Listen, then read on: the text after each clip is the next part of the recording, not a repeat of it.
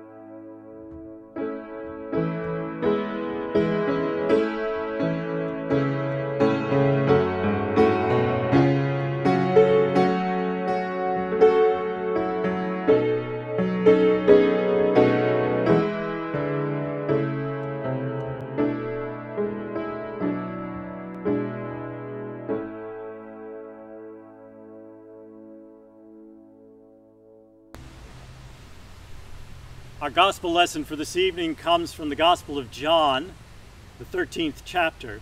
Jesus is having the Passover with his disciples, and during the meal, he takes off his coat, his robe, and ties a towel around his waist and goes about washing the disciples' feet. When he is finished, he puts his robe back on and he puts away the towel and he sits down and he says to them, Do you know what I have done? You call me teacher and Lord, and you are right, for that is what I am. So if I, your teacher and your Lord, have washed your feet, you also ought to wash one another's feet. For I have set for you an example that you should do as I have done. Rest assured, servants are not greater than their master, nor messengers greater than the one who sent them. If you know these things, you are blessed if you do them. Little children, I am with you only a little while longer. You will look for me, and as I said to the Jews, so now I say to you, where I am going, you cannot come. I give you a new commandment, that you love one another. Just as I have loved you, you ought to one love one another. In loving one another, everyone will know that you are my disciples. The word of the Lord. Thanks be to God. Let us confess our sin in the presence of God and of one another. Holy and gracious God, I confess that I have sinned against you this day. Some of my sin I know, the thoughts and the words of deeds of which I am ashamed, but some is known only to you. In the name of Jesus Christ, I ask your forgiveness. Deliver and restore me that I may rest in peace. By the mercy of Jesus Christ, we are united with God, and in him we are forgiven. We rest now in his peace, and we rise in the morning to serve him.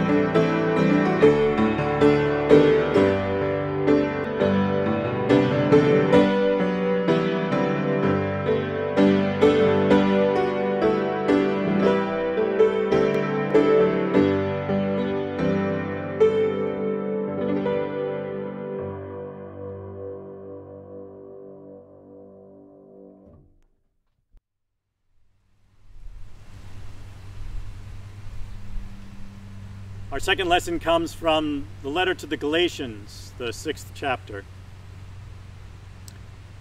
Now, by this we may be sure that we know him, if we obey his commandments. Whoever has said, I have come to know him, but does not obey his commandment, is a liar, and such a person truth does not exist.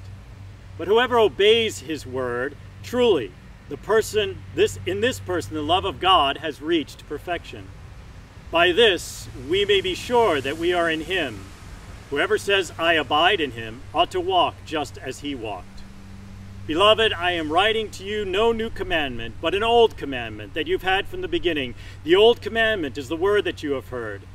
Yet I am writing you a new commandment that is true in him and in you because the darkness is passing away and the true light is already shining. Whoever says, I am in the light, while hating a brother or sister, is still in the darkness. Whoever loves a brother or sister lives in the light, and in such a person there is no cause for stumbling. But whoever hates another believer is in the darkness, walks in the darkness, and does not know the way to go because the darkness has brought on blindness. The word of the Lord. Thanks be to God. Into your hands, O Lord, I commend my spirit. Into your hands I commend my spirit. You have redeemed me, O Lord, God of truth. Into your hands I commend my spirit. Glory to the Father, and to the Son, and to the Holy Spirit into your hands I commend my spirit. Guide us waking, O Lord, and guard us sleeping, that awake we may watch with Christ, and asleep we may rest in his peace. Lord, now you let your servant go in peace. Your word has been fulfilled. Mine own eyes have seen the salvation which you have prepared in the sight of every people, a light to reveal you to the nations, and the glory of your people, Israel. Glory to the Father, and to the Son, and to the Holy Spirit, as it was in the beginning, is now, and will be forever. Amen. Guide us waking, O Lord, and guard us sleeping, that awake we may watch with Christ, and asleep we may rest in peace. Hear my prayer, O Lord. Listen to my cry. Keep me as the apple of your eye. Hide me in the shadow of your wings. In righteousness I shall see you. When I awake, your presence will give me joy. Let us pray. Be present, merciful God, and protect us through the hours of this night, so that we who are wearied by the changes and the chances of life may find our rest in you. Lord of peace, hear our prayer. Heavenly Father, we ask your blessing on the many who are anxious and afraid this night. Come to them with your presence, that they will know peace and find rest from their troubles. To those who are struggling to breathe, give breath. To those racked with fever, bring relief. To those who are weary in their serving and care of others, give strength and patience. Lord of peace, hear our prayer. Heavenly Father, we pray your blessing upon the decisions that the Governor, Governor Cuomo and his staff are making as we leave our sequestering behind and reemerge to do our work, to go shopping and to come to church inspire our own individual responsibility to ourselves and our love for our neighbors, that we will continue to respect the need to be vigilant against the reoccurrence of the widespread passing of the virus. Lord of peace, hear our prayer. Heavenly Father, we pray for an end to the inequities of our society of every kind and to the hardships and pain these bring to too many who deserve equal opportunities and equal respect broaden our commitment and our perspectives beyond the transient and frenzied attention of the media, that we will commit ourselves to making meaningful changes over the long haul in our own perceptions, our own actions, and our own advocacy on behalf of those who need our solidarity. Lord of peace, hear our prayer. Heavenly Father, we humbly ask that you hear the prayers we offer for ourselves in this moment.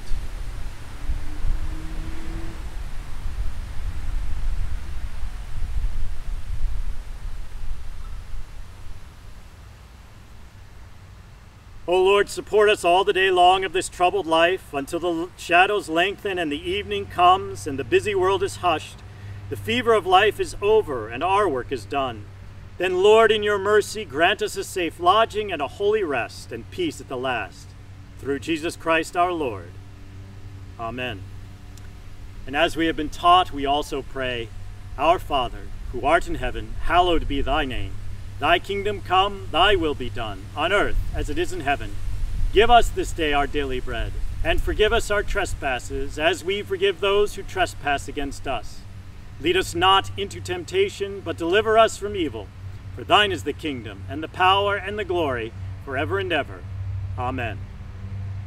The Almighty and merciful Lord, the Father, the Son, and the Holy Spirit, bless us and keep us. Amen.